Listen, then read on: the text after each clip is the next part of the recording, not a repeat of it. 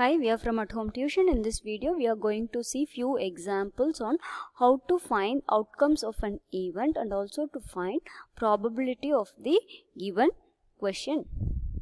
Our first question is when a die is thrown, list the outcomes of an event of getting a prime number, not a prime number, a number greater than 5 and a number not greater than 5. So, we will see we know that a die has six faces namely 1 2 3 4 5 and 6 so when a die is thrown we may get any one number from 1 to 6 so the possible outcome is 6 so now we'll move on to the question. So first question is the outcome of an event of getting a prime number. So we know that a die has numbers from 1 to 6 and the prime numbers between 1 to 6 are 2, 3 and 5. So totally we have 3 prime numbers. So the outcome of an event getting a prime number is 3 and those numbers are 2, 3 and 5. And next question is find the outcome of an event to getting not a prime number. So again we know that the die has numbers from 1 to 6. The numbers that are not prime number between this 1 and 6 is 1, 4 and 6. So totally we have three numbers that are not prime from the numbers 1 to 6. So thus we are saying that the outcomes of an event of getting not a prime number is 3 and those numbers are 1, 4 and 6. Next question is outcomes of a number greater than 5. So a number in the die which is greater than 5 is we know that a die has numbers from 1 to 6 and the number which is greater than 5 is 6. So it has only one number which is greater than 5. So thus the outcome of an event of getting a number greater than 5 is 6 and it's only one outcome is possible. The next question is a number not greater than 5. So the numbers in the die which are not greater than 5 are 1, 2, 3, 4 and 5. So totally we have 5 numbers. So the possible outcome is 5. Thus the outcomes of an event of getting a number not greater than 5 are 1, 2, 3, 4 and 5. Next question is a bag has four red balls and two yellow balls. The balls are identical in all respects other than color. A ball is drawn from the bag without looking into the bag. What is the probability of getting a red ball? Is it more or less than getting a yellow ball? So they have given red balls four red balls and yellow balls. We have two balls and they are given they are identical in all respects. They are identical in shape and size only. The color is different. So totally in all together you have 4 plus 2 6 balls. So the total outcome of the event is 6 so our given question is probability of drawing a red ball. Without looking into the bag you have to draw a red ball. You have to find the probability for that. So the outcome of getting a red ball is 4 because you have totally 4 red balls.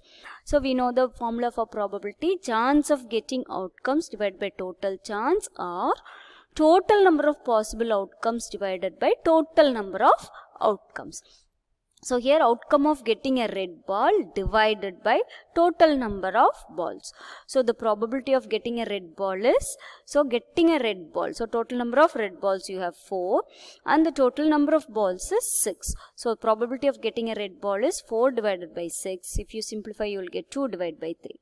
So thus the probability of getting a red ball is 2 divided by the same way, we can find the probability of getting a yellow ball. So, you know the formula.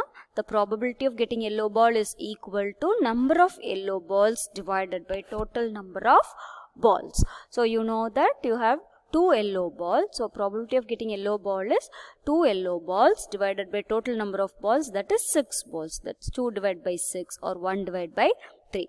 So, the probability of getting a yellow ball is 1 divided by 3.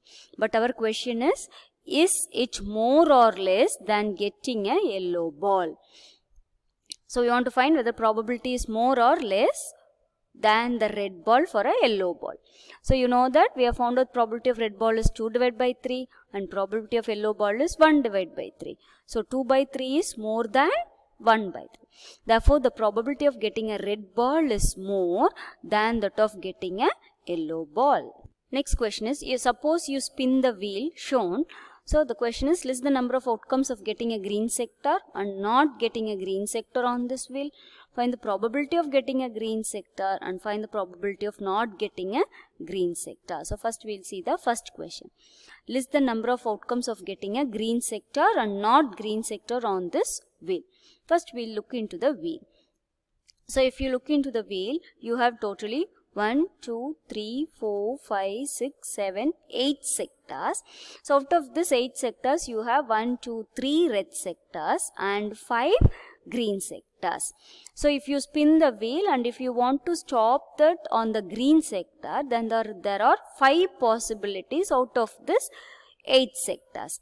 Suppose if you want the wheel to stop not in the green sector, that is in the red sector, then you have three possibilities out of this eight sectors.